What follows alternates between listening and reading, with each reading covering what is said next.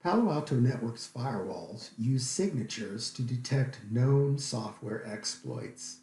Attach a vulnerability protection profile to all security policy rules to protect against buffer overflows, illegal code execution, and other attempts to exploit client side or server side software vulnerabilities.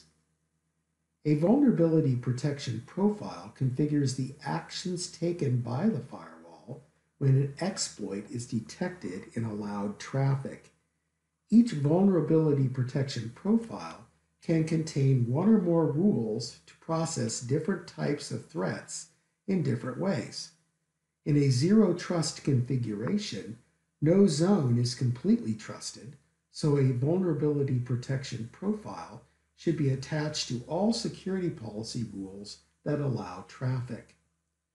In the demonstration, we have browsed to Objects, Security Profiles, Vulnerability Protection.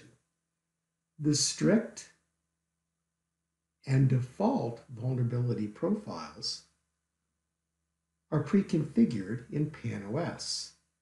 The outbound VP, internal VP, and inbound VP vulnerability protection profiles were configured by a firewall administrator according to best practice.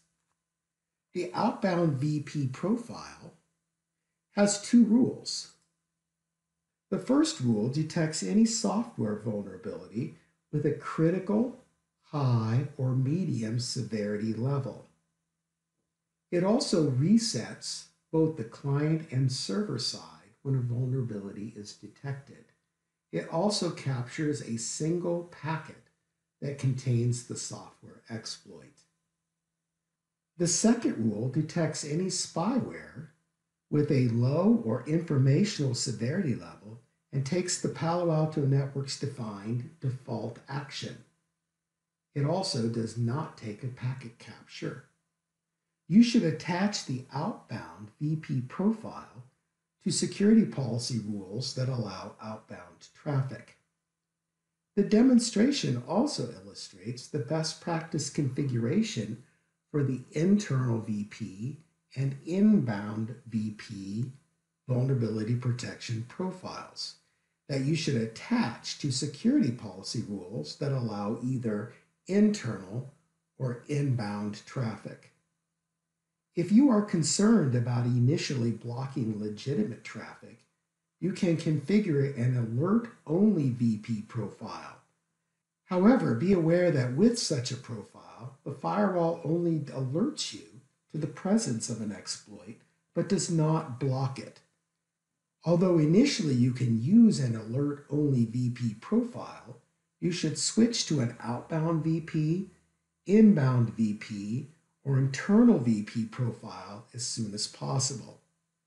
To create an alert-only VP profile, click Add. Name the profile Alert Only VP.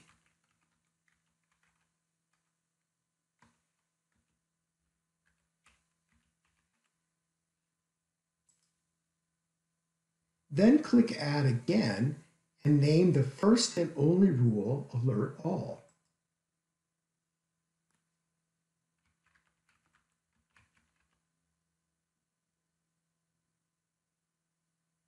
Change the action to alert, and leave all other options at their default settings. Click OK a couple of times to save your configuration.